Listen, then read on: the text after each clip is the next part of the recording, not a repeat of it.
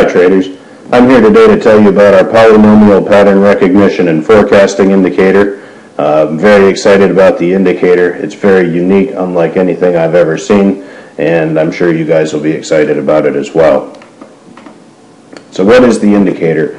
Our polynomial forecasting indicator is an advanced pattern recognition algorithm that utilizes historical price patterns to forecast market movements.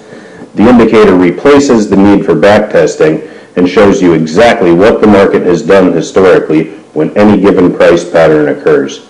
It then generates trade statistics for those historical patterns, allowing you to easily identify which patterns have been profitable historically. The indicator works with the latest release of NinjaTrader 7. So how does it work? We utilize polynomial regression to define the current nonlinear price pattern in the market. The current pattern here is displayed as the green line on the chart. If you notice the shape of the pattern, the line is sloping up and it has a very slight pullback in the center. And then at the end of the line, the far right hand side, it begins to slope down quite significantly. We then go back in history and identify where that same pattern has occurred. If you look on the chart here, we see another green line drawn. This line is one of the matches found for this particular pattern. Using the same regression analysis used to define the green line, we calculate the same line for the 10 bars after the green line. We could call this our forecast.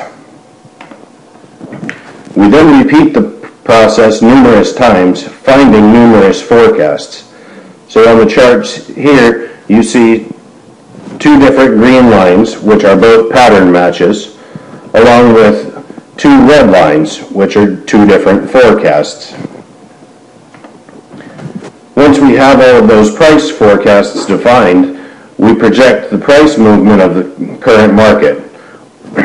So you can see here we have numerous colored lines being projected into the future after the current market price. So looking at a chart,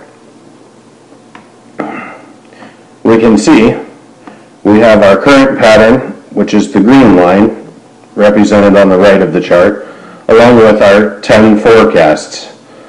At the top left-hand side of the chart, you'll see that we have the, each of those 10 forecasts ranked according to how close of a match that pattern was.